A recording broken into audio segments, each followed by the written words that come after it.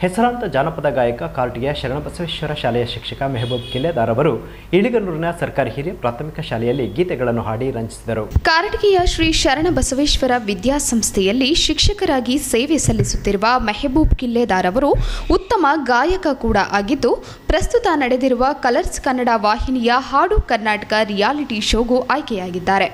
ಶುಕ್ರವಾರ ಕಾರಟಗಿ ತಾಲೂಕು ಈಳಿಗನೂರು ಗ್ರಾಮದ ಸರ್ಕಾರಿ ಹಿರಿಯ ಪ್ರಾಥಮಿಕ ಶಾಲೆಯಲ್ಲಿ ಆಯೋಜಿತಗೊಂಡಿದ್ದ ಕ್ಷೇತ್ರ ಶಿಕ್ಷಣಾಧಿಕಾರಿ ಸೋಮಶೇಖರ ಗೌಡ ಪಾಟೀಲ್ ಅವರ ಶೈಕ್ಷಣಿಕ ಗ್ರಾಮ ವಾಸ್ತವ್ಯ ಕಾರ್ಯಕ್ರಮದಲ್ಲಿ ಮೆಹಬೂಬ್ ಕಿಲ್ಲೆದಾರ್ ಅವರು ಜಾನಪದ ಗೀತೆಗಳನ್ನು ಹಾಡಿ ರಂಜಿಸಿದರು.